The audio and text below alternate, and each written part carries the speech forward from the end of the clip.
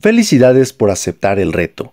Lo que tendrás que hacer es resolver los siguientes 5 problemas. Para ello tendrás un tiempo de 4 horas. El examen comenzará a las 12 pm y terminará a las 4 pm.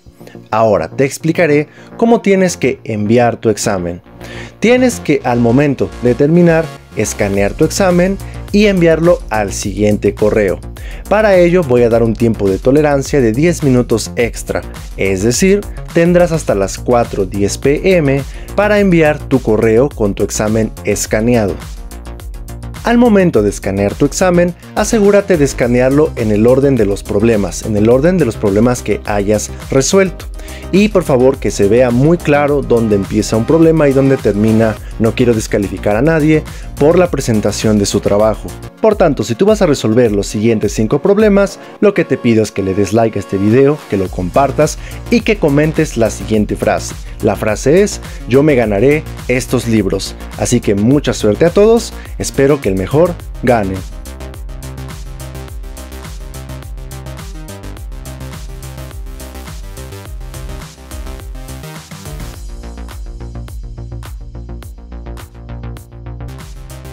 Problema número 1. Debes calcular el valor de cada una de las siguientes dos sumas. Problema número 2. Sean A y B números reales positivos, tales que A es mayor que B. Y consideremos también n un número natural. Lo que debes hacer es determinar cuál de los siguientes dos números A y B es más grande. Problema número 3. Debes demostrar que para cualesquiera a, B y C números reales positivos, se cumple la siguiente desigualdad. Problema número 4. Debes probar que para todo entero n mayor o igual que 2, se cumple la siguiente desigualdad.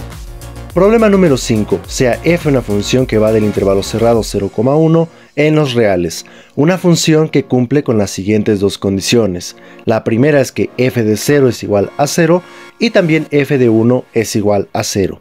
La segunda condición es que el valor absoluto de f de x menos f de y es menor que el valor absoluto de x menos y para cualesquiera x y y en el intervalo cerrado 0,1 siempre y cuando x sea diferente de y. Con todo esto, debes demostrar que para cualesquiera x y y en el intervalo cerrado 0,1 el valor absoluto de f de x menos f de y es estrictamente menor que un medio.